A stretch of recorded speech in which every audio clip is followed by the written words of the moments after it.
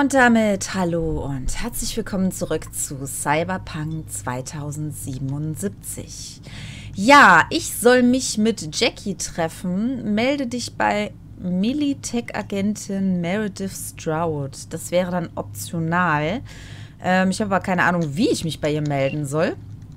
Haben wir denn hier Meredith Stroud, Anruf. Stout here. Ah, Start by telling me how you got this number. No more than your number. Heard you misplaced a convoy. You shut him up. Spill what you know. Don't make me wait. Not on the horn. Let's meet, cut a deal. My, what a A deal. face we have. Fine. First exit off there a Skyline, driving towards the NID. Storm channel under the overpass. Meet you there. Äh, ja. Treffpunkt da hinten, in der Richtung. Hallo? Warum hängt mein Spiel gerade? Keine Ahnung, was los ist, aber es hatte wohl keine Zeit. Ich habe jetzt übrigens diesmal wirklich darauf geachtet, penibel drauf geachtet, muss man ja schon fast sagen, dass wirklich äh, 2K eingestellt sind. Und ja gut, beim Laufen merkt man von den 2K nicht wirklich viel. Wenn ich stehe, geht's eigentlich. Also da sieht es eigentlich ganz ordentlich aus. Nicht so schön, wie es bei vielen anderen 2K-Spielen ist, aber das liegt auf jeden Fall nicht an der Auflösung, nicht an den vorhandenen ähm, ja, Bauteilen vom Rechner, sondern definitiv an den ja, an der Vorgabe des Spiels, sag ich mal. Jetzt schaue ich mal, dass ich zum Zielpunkt komme und schalte euch dann gleich wieder hinzu, wenn ich denn irgendwann mal dort angekommen bin. Bis gleich. So, wir sind gleich da. Ich befürchte allerdings irgendwie, dass wir nach unten mussten. Ja, das stimmt. Ach, hier können wir runter. Okay. Ähm, ich hatte übrigens gerade eine Nachricht bekommen. Nachrichten öffnen. Von wem war es denn? Von Jackie, glaube ich, war es gerade. Willis, komm schon wie. Hab die Kundin getroffen. Sie hat mir ihren BD gezeigt von einem Ort, den wir besuchen sollten. Ich erzähle dir später mehr. Okay, das war anscheinend doch nicht die Mail, ähm, die ich gerade eben bekommen habe. Ja, keine Ahnung. Da war irgendwas äh, mit, du bist sicher beschäftigt, fing das an. Finde ich jetzt aber auch äh, auf die Schnelle nicht. Da ist sie. Meredith Stout. Take it you were the one to call? Genau, ich bin wie. Ähm, kann ich mit dir reden? Achso. That'd be me. Blackmail okay. Got any more for me? Calm the fuck down! I just want to talk. Christ, Meredith! Shut your trap! That fucking thing Unbefugter ready? Zugriff? All set. Now answer my questions. Honestly, forthrightly. Are you here alone? Yeah. Yep. just little old me. It's the truth. Do a sweep now. Now listen, please. This piece of shit, Anthony Gilchrist. Is he your contact? Is he the one who leaked intel on the convoy?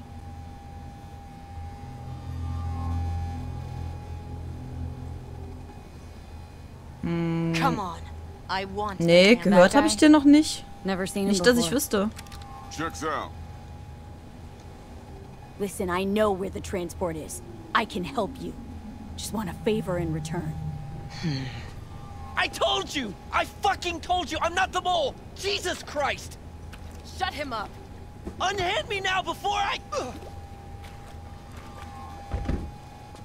Her you can let go.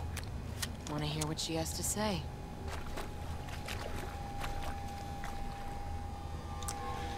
Äh, du willst die Infos, ich will einen Bot. Wie wär's mit einem Deal?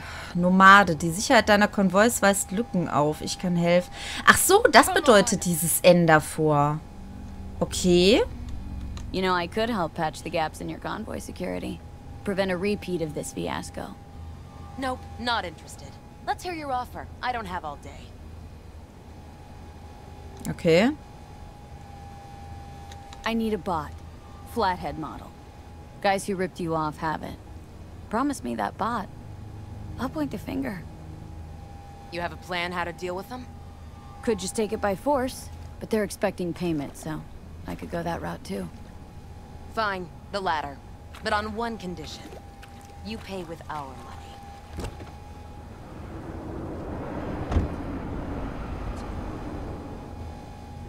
Okay. Sounds solid enough. I'm in. Verschlüsselter Splitter. Manche Splitter, die du in der Welt findest, erhalten hinter Datenverschlüsselungen verborgene Informationen. Um einen Splitter zu entschlüsseln, musst du ihn entweder über die Benachrichtigung gleich nach Erhalt öffnen oder ihn später im Tab Splitter in deinem Journal im Hauptmenü auswählen. Wähle dann Sicherheit hacken, um an die Geheimnisse des Splitters zu gelangen. Also über Tab Splitter. Weil jetzt zu öffnen, wenn sie dabei ist, wäre ja Blödsinn, oder? Ich weiß es nicht. Keine Ahnung. Ich verstehe irgendwie gerade so gar nicht, was jetzt gerade los ist. You pay with that chip, and that's all you gotta worry about. Try to fuck me in any way, and I'll be seeing you real soon. You're making a mistake. Her. Okay. Also, da stand gerade noch was mit Z, was wir machen sollen. Äh, was aber anscheinend nicht mehr funktioniert. Okay. Ich dachte gerade, ich habe hier eine Drohne gehört. Ähm. Ich denke, über Tab kann ich den Splitter... Ja, das ist geil. Hä? Also, die haben von Tab gesprochen. Ähm... Le Levelaufstieg? Moment. Charakter? Oh, wir haben Punkte dazu bekommen. Sehr schön. Ja, ähm, Coolness-Wert scheint ja auch irgendwie nicht ganz so verkehrt zu sein. Würde ich mal glatt behaupten, dass wir jetzt hier... Ähm, nee, da wollte ich jetzt eigentlich nicht rein. Ich wollte eigentlich... Ach so, zum Erlernen halten. Ah. Ich muss mich erst dran gewöhnen. Ich weiß auch nicht. So, da wollte ich jetzt die zwei Punkte reinmachen und dann Technik, Reflexe. Reflexe sind natürlich auch nicht gerade verkehrt. Hat auch mit Handfeuerwaffen natürlich zu tun. Ich würde sagen, dass wir hier mal was reinmachen. Ähm, passiv. Passiv.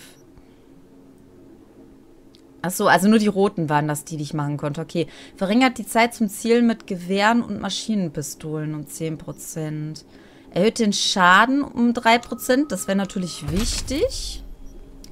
Schnelle Nahkampfangriffe mit Gewehren und Maschinenpistolen verursachen 50% mehr Schaden. Äh, okay. Erhöht die kritische Trefferchance mit Gewehren und Maschinenpistolen um 10%, während du aus der Deckung schießt. Naja, packen wir hier mal den zweiten. Ach so, Gewehr. Oh nein. Ja, da stand nur Maschinenpistolen. Ich bin auch so blöd. Ich bin so blöd. Ich wollte das Ganze eigentlich in die Pistolen reinmachen. Ja, ähm, ich lerne ja nie aus, ne? Scheiße. Okay, ähm... Item, Journal, Werte, Splitter. Ah, unter Journal. So. Militech Datensplitter. Sicherheit hacken. Okay, das mit so einer Sequenz. Ähm, 55. Ja, was denn nur? IC oder BD? Könnt ihr euch mal entscheiden? Aha. 55. Was? Was, was, was? Irgendwas mit den Splitter infiziert? Ich habe keine Ahnung, was jetzt gerade drin stand. Terminal verlassen. Ich probiere es nochmal. Kann ich das nochmal probieren? Sicherheit hacken. So, 55. BD. Leute. Komme hier nicht weiter. Ich muss doch immer das machen, was angezeigt wird. Ich verstehe es irgendwie nicht. Also ich habe es jetzt so gemacht, wie es mir gezeigt wurde. Aber das funktionierte nicht. Ich probiere es jetzt noch einmal. Ansonsten machen wir einfach mal mit der Hauptquest weiter. Ja, ich weiß, ich muss F drücken. So, 55. Da müsste ich eigentlich IC machen. Das habe ich hier zum Beispiel wieder nicht drin. 55. IC darf ich nicht anklicken. Das ist ja geil. Warum darf ich IC nicht anklicken? Hä? Das hat doch überhaupt nichts mit den Zahlen rechts zu tun. Ach, ihr könnt mich jetzt echt mal. So, ähm... Ja, ich verstehe es wirklich nicht. Also, es hat beim ersten Mal wunderbar funktioniert. Muss ich jetzt nach oben oder nach unten? Ich glaube, es wurde mir jetzt gerade unten angezeigt, oder? Ne, jetzt sieht es doch eher nach oben aus. Es hat beim ersten Mal wunderbar funktioniert, als ich das gemacht habe. Also, wo das Ganze so ein bisschen, ja, ich sag mal, getestet worden ist. Aber...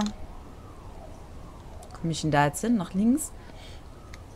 Ähm, aber jetzt funktioniert es scheinbar äh, irgendwie gar nicht mehr, weil ich jetzt nicht mehr das machen konnte, was ich vorher machen konnte. Also normalerweise war es ja so, dass ich die Zahlen auf der rechten Seite rausfinden musste und anklicken musste. Das habe ich gemacht, aber die konnte ich stellenweise jetzt nicht anklicken. Und ja, ich begreife es irgendwie nicht. Entweder stehe ich total auf den Schlauch ah, oder ich weiß es auch nicht. Hi. Let me hear what you squared away. Kann ich nicht mit dir reden? Doch. So, Malstrom, wir müssen ihn treffen. Äh. That an arch? Oh, damn, what a beaut. Yeah, got her cheap, too. Dorset job dividend. Huh. Don't know how you could scrape together enough for that beast. Even used. Well, I, I took out a loan, but muy pequeñito. But I mean, it's totally worth it. Okay. Also, Kann man das? Nee. Ähm, ich schätze, diese Nomadensache funktioniert nur bei Nomaden. Ich vermute, dass diese komische Tussi eben keine Nomadin war. Ähm, aufgrund des Outfits würde ich sagen, gehörte die zu der rechten Klasse. Ich weiß nicht, Kompi oder wie die hießen da. Ähm, ja. So, Dex already paid the Maelstromers for the Corpo bot. Thing is, Can't be sure the Gangoons are still willing to hand it over. He paid up front? Híjole. Well, whatever. Let's go get this tech. You scheme yet? You got a plan? naja, ob das ein Plan ist, weiß ich nicht. Militech and me, we found some common ground. They're footing the bill for the bot. There's a lot of scratch to toss away. Forget it, Jack. It'll be like we never had it in the first place. Anyway, who knows how this deal's gonna shake out. So, into the Borg Beast den? Let's go see these bastards. All right, let's knock on their door. See if they even open up. Kann ich mit dir mitfahren? Ach so, wir gehen zu Fuß. Ach so, ist gar nicht so weit. Sag das doch. Just a gang like any other, right? And take the Valentinos. They follow God and the Santa Madre.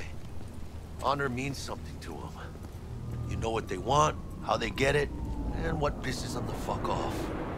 With Maelstrom, you just never know. Go on, let them know we're here. Ja, soll ich da reinschießen, oder was? Wie soll ich das Ding denn öffnen? Ach so. Oder? Ring a ding ding, chum. Ja. Ich habe keine Ahnung, was ich machen soll, Junge. Mach doch einfach die Tür auf oder klopf an oder so. Ähm. Ja, das funktioniert doch wieder nicht. Hallo. Ring a ding ding, chum. Gotta get this done. Ach, benutze die... okay. Ich hätte vorher nach rechts gucken sollen, was ich machen soll. Don't know you. Wanna talk to Royce. Dex sent us. Main room. Eigentlich wollte ich das Ding ja hacken, aber... Was seid ihr denn hier für komische Sachen? Geschütztürme?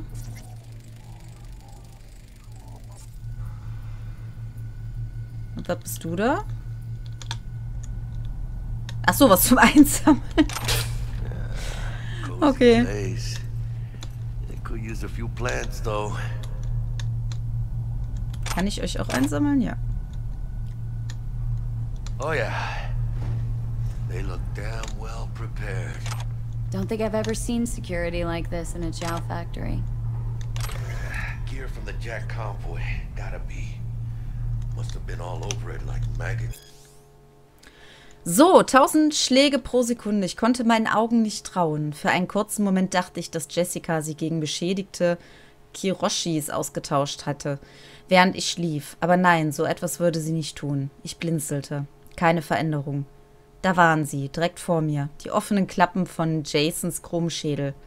Ich sah das elektronische Hören, das noch bis eben von perfekt imitierter Sündhaut bedeckt gewesen war. Der Sohn des CEOs von Future Tech, der Mann meiner Träume, Jason, war ein Android. Scheiße. Ich saß da, blickte dümmlich vor mich hin und Jason starrte zurück. Ich konnte nicht anders. Ich fragte mich, wo seine schönen blauen Augen waren, mit denen er mir den Kopf verdreht hatte. Waren sie nichts als Imitate, gesteuert von irgendeinem Emo-Algorithmus? Hatte es hinter ihnen nie echte Gefühle gegeben? Nicht ein einziges Mal? Alex, äh, es ist nicht, wie du denkst, rief er flehentlich mit einem seltsamen, echt klingenden, panischen Unterton. Ich wollte ihm glauben. Wirklich. Hm, ich sehe jedenfalls, dass es nicht so ist, wie ich dachte, antwortete ich teils ängstlich, teils verbittert. Ich und mein ewiges Pech. Der erste und letzte Kerl, dem ich komplett verfalle und puppt sich als verdammtes Motherboard auf Beinen. Nein, da liegst du falsch, begann Jason und unterbrach sich. Er lächelte verlegen. Moment, hast du komplett verfallen gesagt? Mein Kardioimplantat schlug immer schneller. Ich errötete. Hatte ich Unrecht? Enthielt dieser Körper aus Bolzen, Drähten und Plastik womöglich noch Überbleibsel des echten Jason Kadalitz? Wenn sein Vater in der Lage gewesen war, ein synthetisches Herz für mich zu entwickeln, vielleicht hatte er es auch für das Gehirn seines Sohnes geschafft. Die Frage war nur, warum? Some dead meat. Was, was, was? You hear about their boss, Royce? Dex mentioned him. Called him special. That's Militech, all right. Psycho boards, chromed out with military-grade hardware worth millions. This should be fun. Ich sammle mal einfach alles ein hier. Da müssen wir hin. Dann lass mich hier nochmal kurz gucken. Ja, mein Gefühl trügt mich wieder nicht. Okay. Was bist du?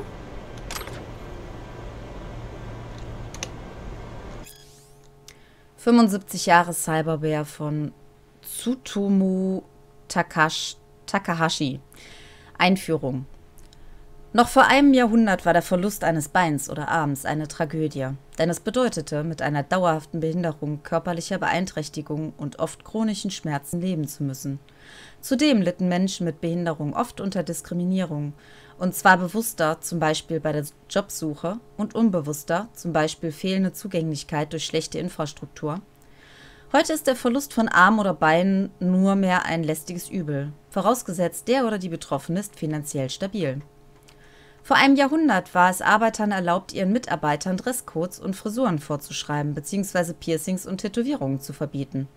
Es war gang und gäbe, Arbeitnehmer mit äh, illi, illegitimen was? Mitteln zu höherer Produktivität anzutreiben, beispielsweise mittels Antischwangerschaftsvorschriften. Gleichzeitig war es damals weder gesetzlich erlaubt noch anders möglich, sich näher mit dem Körper seines Mitarbeiters zu befassen. Mit dem Aufkommen der Cyberware in der zweiten Hälfte dieses Jahrhunderts begannen Arbeitgeber ihren Arbeitnehmern Vorgaben hinsichtlich Haut, Knochen, Muskel, Organ- und Augenersatzprodukten zu machen, um so Leistung und Effizienz zu steigern. In extremen Fällen werden Angestellte im Sicherheitssektor dazu angehalten, sich einer sogenannten vollen Körperkonversation oder voller Cyborgisierung zu unterziehen. Haben die einen Ratter? Vieles hat sich verändert, seit vor etwa 75 Jahren die erste kybernetische Implantate auf den Markt, auf den Markt kamen. Einige Experten der Technologiegeschichte sind der Überzeugung, Cyberware beeinflusse den Fortschritt positiv. Andere behaupten das Gegenteil. In diesem Buch versuche ich die guten wie die schlechten Veränderungen für unser Privat- und Berufsleben näher zu erörtern und in Zusammenhang zu setzen. Wie hat Cyberware uns in die heutige Zeit begleitet und wohin geht die Reise? Ja, ähm, ist das jetzt hier auf der anderen Seite? Steht der jetzt hier vorne? Oder? Ja, er steht hier vorne. Okay, was ist das?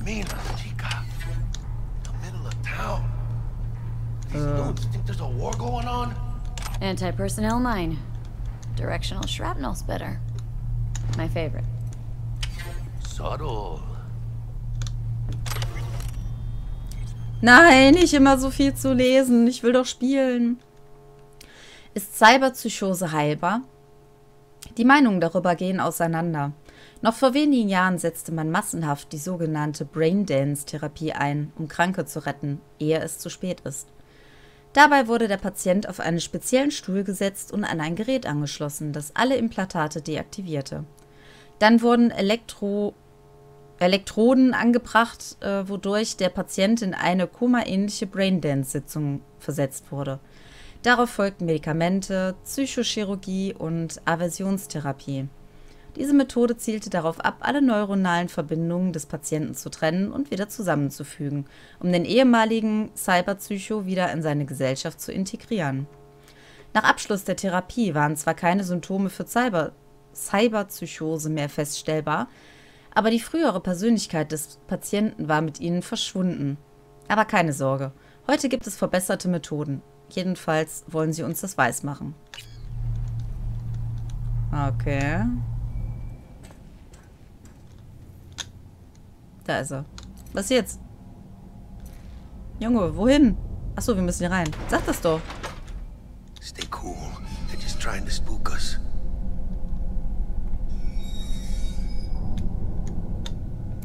So, ja. Dann müssen wir hin. Get in the elevator. Was bist du denn für komischer Kauz?